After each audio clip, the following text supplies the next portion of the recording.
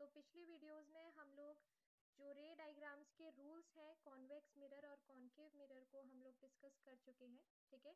इसके चार रूल्स हैं जो हम थॉरली डिस्कस कर चुके हैं और अगर आपको आ, वो चीज़ सारे रूल्स समझने हैं तो जो लिंक है वो डिस्क्रिप्शन बॉक्स में आपको दे दिया जाएगा ठीक है? एंड आगे हम लोग आज डिस्कस करने वाले हैं कॉन्केव मिरर और कॉन्वेक्स मिरर के इमेज फॉर्मेशन के बारे में।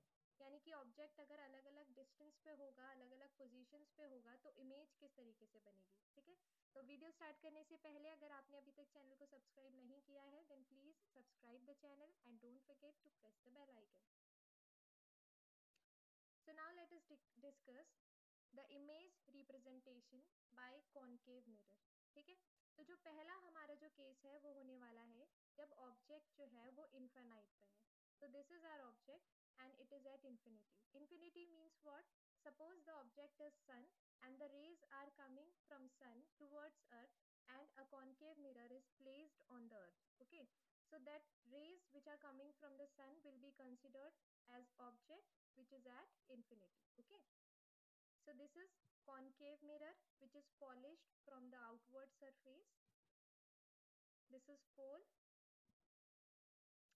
This is principal axis this is the focus of the concave mirror and this is the center of curvature, okay? So, जो रूल्स हमने डिस्कस किए थे, उसमें हमने सबसे पहला उसमें जो थर्ड रूल था, वो हमने क्या पढ़ा था? कि अगर कोई रे सेंटर ऑफ़ कर्वेचर से पास होगी तो जो रिफ्लेक्टेड रे होगी, वो भी सेम पाथ फॉलो करेगी। तो जो रिफ्लेक्टेड रे है, वो भी सेम पाथ फॉलो कर रही है। नेक्स्ट अगर कोई रे प्रिंसिपल एक्सिस के पैरेलल जाएगी तो फिर वो फोकस से पास होगी ठीक है? फोकस से पास हुई। अभी तक भी हम देख रहे हैं कि यहाँ पे कुछ इमेज नहीं बन पा रही है, ठीक है? तो नेक्स्ट एक और हम रूल लगाएँगे और ट्राई करेंगे कि कोई इमेज फॉर्मेशन बने। तो थर्ड जो रे है वो अगेन प्रिंसिपल एक्सिस से पास हो रही है।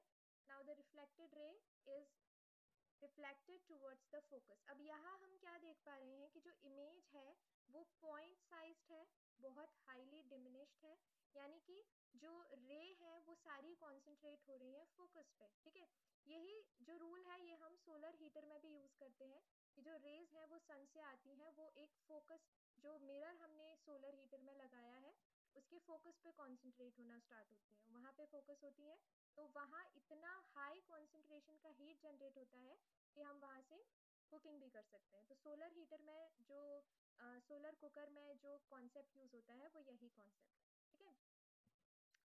So, the object is at infinity. Now, what is the nature of the image? Image is formed at focus. It is highly diminished or point sized. ठीक है अब ये जो रिफ्लेक्टेड रे होंगी, इन्हीं से हमें पता चलेगा कि इमेज किस तरह की बन रही है, ठीक है आगे हम और भी केसेस डिस्कस करने वाले हैं और ये जो इमेज है, ये क्योंकि मिरर के बिहाइंड नहीं बन रही है मिरर के साइड ही बन रही है, इसलिए ये जो इमेज है वो रियल और इन्वर्टेड है, ठीक है नेक्स्ट जो केस है कि अगर जो ऑब्जेक्ट है, वो सेंटर ऑफ़ कर्वेचर के बियॉन्ड हो, ठीक है? तब क्या केस होगा? तो फर्स्टली जो रे है, वो प्रिंसिपल एक्सिस के पैरेलल जाएगी फोकस से पास हुई रिफ्लेक्ट होके। नेक्स्ट वो फोकस से अगर जा रही है तो फिर वो प्रिंसिपल एक्सिस के पैरेलल हो जाएगी। अब यहाँ ये जो दोनों रेज क्रॉस होके, ये एक इमेज यहाँ पे बना रही हैं, ठीक है? So this is our image जिसको हमने रिप्रेजेंट किया है ए प्राइम बी प्राइम से। ठीक है? नाउ दिस इमेज ये इमेज सी और एफ़ के बीच में बन रही है। ये इमेज जो है, ये ऑब्जेक्ट के कंपैरिजन में डिमिनिश्ड है, ठीक है? And this image is real and inverted okay so this is our second case now let us discuss third case third case क्या होगा? बियॉन्ड सी हो गया। अब अगर ऑब्जेक्ट जो है, वो अगर सी पे है तो क्या तो क्या केस होगा, ठीक है? तो ऑब्जेक्ट जो है, वो हमने प्लेस किया है सेंटर ऑफ़ कर्वेचर पे। रे अगर प्रिंसिपल एक्सिस के पैरेलल जाएगी तो वो फोकस से पास होगी, ठीक है? नेक्स्ट अगर फोकस से पास होगी तो फिर पैरेलल जाएगी, ठीक है? ये दोनों जो कौन ये दोनों जो रूल्स हैं, वो एक दूसरे के इन्वर्स हैं वाइस वर्सा ठीक है? अब यहाँ जो इमेज बन रही है, वो कैसी है? ये जो इमेज है, ये ऑब्जेक्ट के सेम साइज़ की बन रही है, और ये कहाँ बन रही है? सेंटर ऑफ़ कर्वेचर पे बन रही है, ठीक है?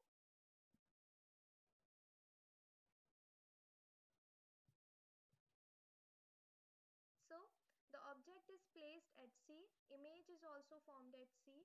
This image is same sized, same as the size of the object and this image is also real and inverted now next case c तक हो गया infinity हो गया beyond c हो गया c हो गया अब कहाँ होगा object c और f के बीच में ठीक है so this is principal axis अब जो ऑब्जेक्ट है वो C और F के बीच में है ठीक है तो पहला तो हम वही कि अगर कोई अच्छा इनमें जो आप लॉज यूज़ कर रहे हैं रूल्स कोई भी दो रूल्स आप यूज़ कर सकते हैं, ठीक है? जो चार रूल्स हमने पढ़े हैं, उनमें से कोई भी दो रूल्स यूज़ करके आप इमेज फॉर्मेशन कर सकते हैं अपने हिसाब से, ठीक है?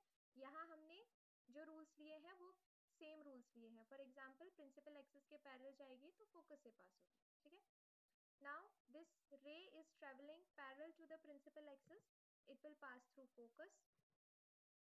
If the ray is passing through the focus then it will be parallel to the principal axis okay अब यहाँ ये जो इमेज बन रही है ये हाईली enlarged है as compared to the object ठीक है so this is our image and this image is also real and inverted it is formed beyond C so when the object is placed between center of curvature and focus the image is formed beyond C it is enlarged and it is real and inverted next case focus पे रखें तब क्या case होगा तो object हमने focus पे रखा then this ray is parallel to the principal axis it will pass through focus again if a ray is passing through the center of curvature then the reflected ray will also follow the same path तो यहाँ पे ये same path follow किया अब यहाँ हम क्या देख रहे हैं ये दोनों जो रेज हैं वो पैरेलल हैं और पैरेलल पैरेलल जो रेज होती हैं वो कहीं भी मीट नहीं करती, ठीक है? तो पैरेलल और, या फिर हम ये कह सकते हैं कि जो पैरेलल रेज हैं ये दोनों, ये कहाँ मीट करेंगी? इन्फिनिटी पे राइट तो जो ऑब्जेक्ट होगा वो हमारा हाईली एनलार्ज होगा और वो कहाँ बनेगा? इन्फिनिटी पे मीट करेगा, ठीक है? So when the object is placed at focus, the image is formed at infinity and it is highly enlarged और अगेन यहाँ जो इमेज है वो मिरर के साइड ही बन रही है बिहाइंड द मिरर नहीं बन रही। That is why this image is also real and important okay now next case जो लास्ट केस हमारा है, वो क्या है? अगर फोकस और पोल के बीच में हम ऑब्जेक्ट को रखें, ठीक है?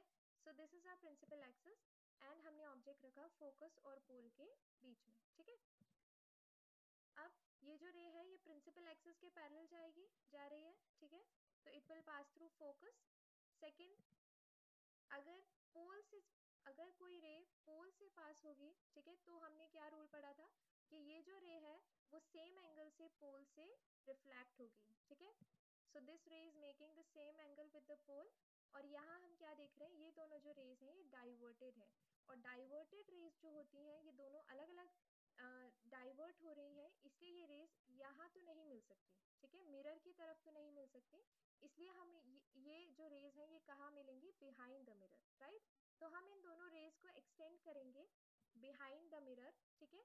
And this is what we see that the image is highly enlarged okay और इस केस में सिर्फ़ कॉन्केव मिरर में यही एक ऐसा केस है जहाँ पे जो इमेज है वो बिहाइंड द मिरर बनेगी और वर्चुअल और इरेक्ट बनेगी। वर्चुअल क्यों? Because it is formed behind the mirror ठीक है?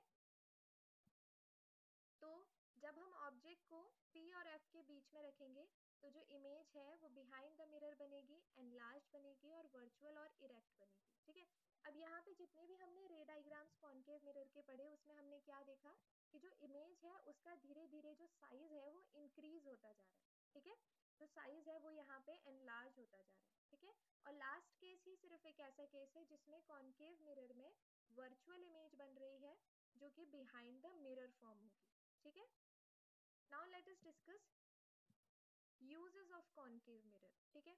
तो एक जो केस एक जो इसका यूज़ है, वो हम लोग डिस्कस कर चुके हैं सोलार हीटर्स ठीक है? तो सोलार हीटर्स का कॉन्सेप्ट हमने पढ़ा था। फॉर एग्ज़ाम्पल ये सन है, ठीक है? And this concave mirror is kept on the earth and the rays are coming from sun this is pole now the rays are coming from the sun when the ray through the center of curvature the reflected ray will also pass through the same path next when the ray is parallel to the principal axis it will pass through focus right and the last when the ray is passing through the principal parallel to the principal axis it will pass through focus so here we can see that these all rays are concentrated on the focus तो यहाँ ये जो focus होगा वहाँ पे सारी reflected ray जो है वो converge हो रही है it means what? यहाँ पे सबसे ज़्यादा heat generate होगी। तो इस point पे अगर हम paper भी रखेंगे तो it will start burning right? तो इसी concept को हमने use किया है solar heaters में।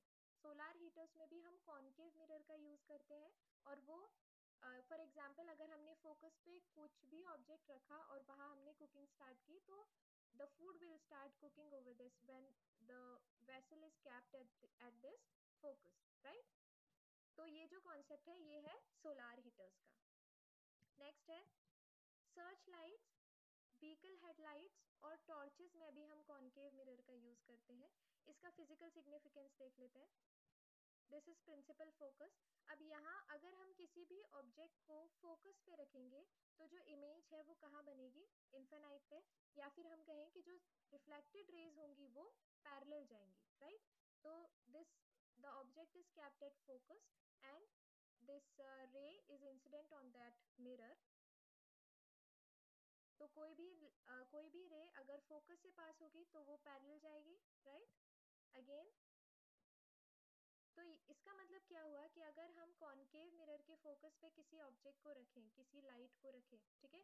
तो जो रिफ्लेक्टेड लाइट होगी वो पैरेलल जाएगी ठीक है? लेकिन हमने क्या देखा जो सर्च लाइट्स होती हैं या फिर जो व्हीकल हेडलाइट्स होती हैं वो सिर्फ़ पैरेलल जाए रेज उससे काम नहीं चलेगा। बिकॉज़ व्हीकल व्हीकल हेडलाइट्स में अगर सिर्फ़ जो लाइट है वो पैरेलल जाएगी तो हमें सिर्फ़ आगे का पाथ दिखेगा। बट हमें थोड़ा साइड का भी पाथ देखना इंपॉर्टेंट होता है है ना? तो उसके लिए हम क्या करेंगे? यहाँ पे डिफ्लेक्टर्स भी लगाएँगे। सिर्फ़ कॉनकेव मिरर्स ना लगा करके कुछ डिफ्लेक्टर्स भी लगाएँगे और उन डिफ्लेक्टर्स की वजह से ये जो लाइट रेज पैरेलल जाने वाली थी, उनका एंगल थोड़ा सा चेंज हो जाएगा और हम आसपास की जो रोड है व्हीकल हेडलाइट में जिसे हमें देखना इंपॉर्टेंट रहता है वाइल ट्रेवलिंग तो वो भी हम इसको देख पाएँगे, ठीक है? तो जो व्हीकल हेडलाइट और जो टॉर्चेस और सर्च लाइट्स जो होती हैं, उसमें कॉनकेव मिरर के साथ साथ डिफ्लेक्टर्स का भी हम लोग यूज़ करते हैं राइट तो ये बात हुई कॉनकेव मिरर की।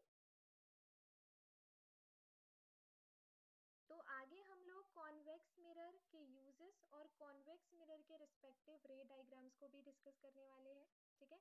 और इस पूरी सीरीज़ में आपके reflection and refraction of light से रिलेटेड जितने भी डाउट्स हैं, वो सब क्लियर होने वाले हैं, ठीक है?